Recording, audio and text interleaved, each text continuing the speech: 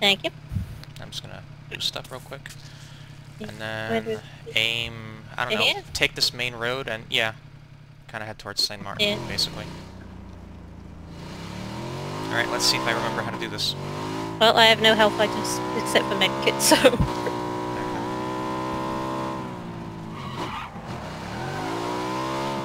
I feel like we're gonna tip over.